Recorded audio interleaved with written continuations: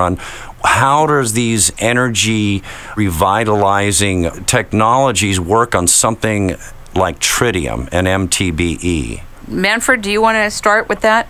I have no clue. I have to say that frankly because I've never tried it. I've tried it with a lot of substances, but I have never tried it with radioactivity. So that's just like John Evans said, we got to go there into some experiments and then we will find out. It's kind of like the next oh. frontier, it sounds like. um, could I put a, a, little word in? Please do. Pollution? I want you all to put your words in. Okay. Um, I'd like to do a lots and lots of research in every department as far as pollution, human health, you name it. Anyway, I have been working, and maybe somebody knows about a Dr. Carl Oppenheimer. He has invented a bacteria. Well, it's kind of a odd when you say invented a bacteria. Well, this is one of the oldest forms of bacteria. It doesn't have a DNA, it has an RNA, so therefore it always duplicates itself exactly.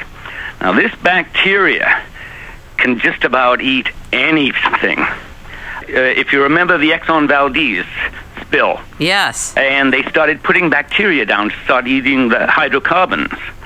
Well, that was a, a primitive form back in those days, but now Dr. Carl Oppenheimer, who actually talked with the United Nations, and his uh, bacteria is safe and everything. WTO, you know, acknowledges that it's all safe, and he goes all over the world with all where there's big, uh, you know, chemical or or uh, oil spills or whatever, and he has this bacteria that he puts down and cleans up everything.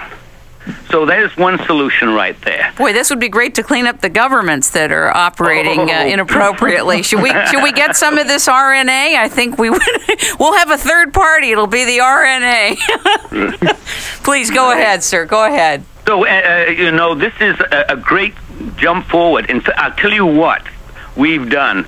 An associate of his and myself, and I'm working with him. We did some experiments in China with this, with their pollution and you know uh, recycling projects over there, and also helping out the farmers on ooh, a lot of acreage. They were so impressed, they immediately gave him an import license. So uh, by next year, the Chinese government uh, has asked us to go in so that we could do a recycling uh, project. That's with wastewater, you know, anything with composting, and the whole works.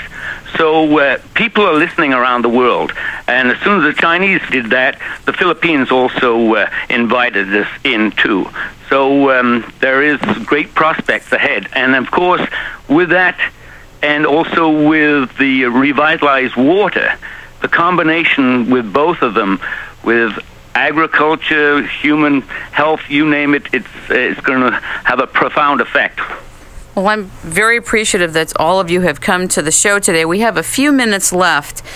And is there somebody here? Was that Bill? This is Bill Cox. Hello, Bill Cox. Uh, Welcome, I, Bill Cox from Primary Water Associates. Good morning. I would like to just put in a word in regard to this. Uh, I've been working with about 125 year old validated, well documented science called primary new water.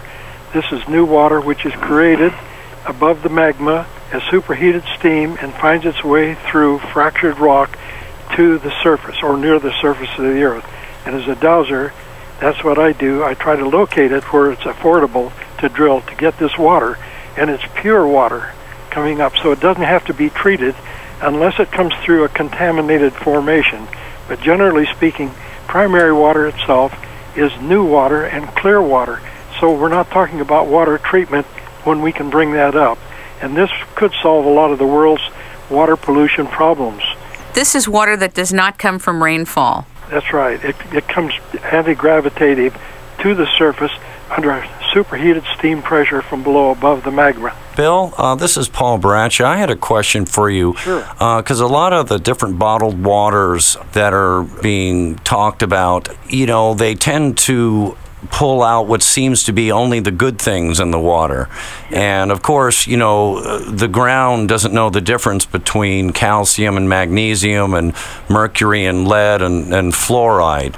Um, so when you're pulling a water like you're talking about out of the ground, a pure water now, is that devoid of the minerals and the natural inherent things in the earth? And if it isn't, then how do you separate the things that are in the ground that are harmful from the things that are not? Because a lot of times the it's natural gets thrown around in the public, and I say, well, volcanic eruptions and tidal waves and earthquakes are natural as well, but you wouldn't want to get in their way. Well, with good engineering, someone who understands what's going on with primary water, they can engineer the well so that if there are pollutants coming in, I'm talking about mineral pollutants that come into the well from fractured rock below, then they can shield out, pour cement down in the hole and re-drill through it and block out those formations. And that is part of the science, not only of locating it, but also the completion of the well and bringing it to the surface in its purest form. Ladies and gentlemen, you have been listening to It's Rainmaking Time. We are coming to the close of this segment on water composition and frequency.